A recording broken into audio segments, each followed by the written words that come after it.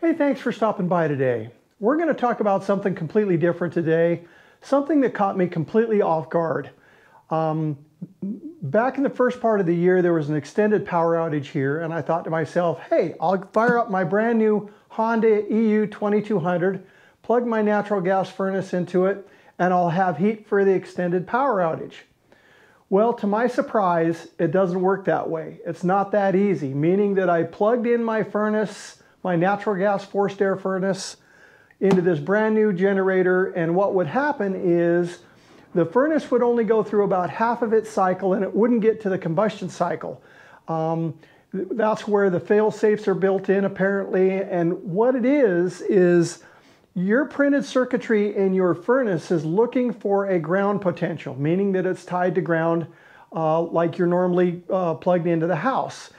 These have a floating neutral on them. So there is no reference to ground. And so what it would do is it would give me a, an error on the furnace saying that there was a polarity issue. Um, I've heard of others where it actually gives you a ground error. But the bottom line is, if you think you're going to just take a newer furnace, a forced air furnace, and plug it into your generator, especially Hondas, because they have a floating neutral, it's not going to work.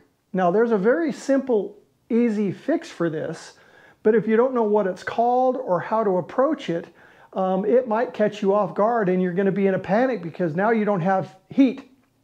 And so we'll talk about that today. I'll also mention that this video is strictly for information.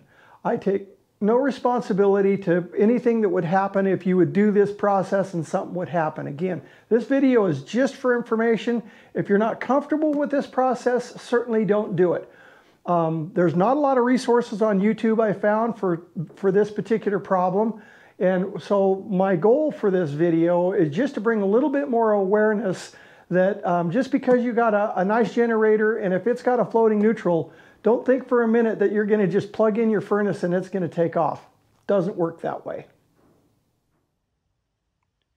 Usually, if your uh, generator has a floating neutral, it will say somewhere on the faceplate. Again, this is a brand new generator, and you can see right in the middle there, you can see where it says floating, uh, neutral floating.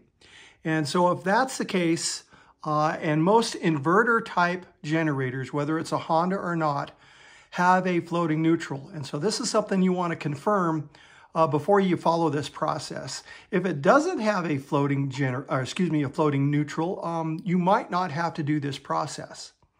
And so what it is, it's very simple. We're going to uh, look at a grounding bond plug and what it looks like and what it does.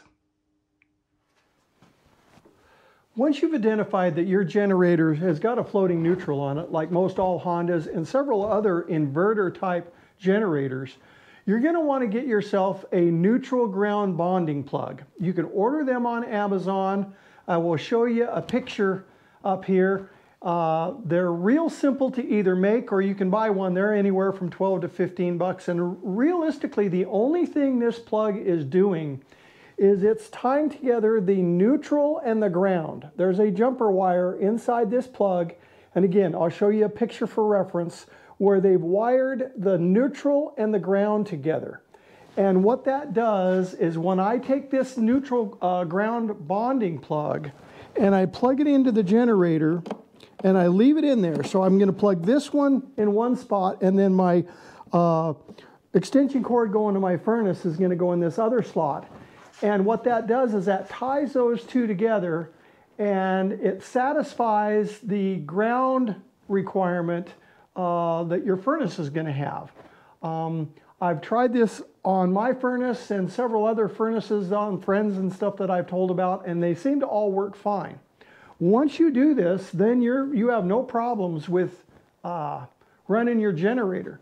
One of the things that I love about this brand new Honda is it's got a phone app to tell you how many watts, you know, different things are, are being, uh, are consuming when you're running your generator. And I was pretty shocked to find out that with my furnace running, I was only consuming about 415 watts worth of power. With this 2200, that means that I could probably run a few other things if I had to dur during an extended power outage. So anyway, um, That's what it is. I plug the neutral ground bonding plug into one of the uh, into one of the receptacles on the generator, run out my uh, extension cord to my furnace on the other, and it seems like everybody's happy. Well, as you can see, it didn't take much of a solution to make all this work. A simple three-prong male plug, uh, put in a jumper, way you go between the neutral and the ground, and uh, you're off to the races. If you're not comfortable with doing that, you can always purchase one of these plugs on Amazon or places like that, and it's called a neutral ground bonding plug. That's what I had troubles uh, because I didn't know what this thing was supposed to be called, and um, I couldn't pull it up. So anyway, that way, and I would sure check this out before you need it. Um, hope this information was helpful. If you like the content, give me a thumbs up. If you haven't done so before, su subscribe if you can. And if you have the ability, hit that thanks button, contribute to the channel. I'd sure appreciate it. Thanks and have a great day.